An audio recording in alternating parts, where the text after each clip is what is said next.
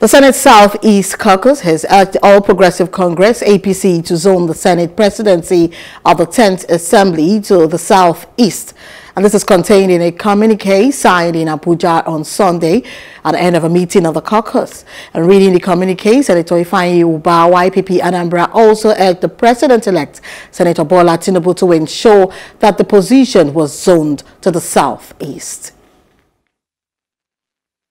with the sidelining of the Southeast from producing the presidential candidates of the major political parties before the general election, the only means through which the zone can be compensated and given a sense of belonging is for the zone to produce the next Senate president, as this will restore confidence to the people from the Southeast geopolitical zone. The APC must rise above primordial and political interest and shun the winner-take-all syndrome and pursue ethno-religious inclusivity, and a strong, virile, united, progressive, prosperous, equitable, and just democratic nation. Mr. President-elect should, Mr. Mr. President-elect, how would an average Igbo feel after seeing evidence of total discrimination?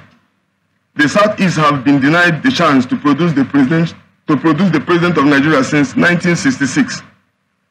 The South South has produced president for six years and also had deputy senate president in the outgoing administration. The only zone in the South that has not been favored is the Southeast.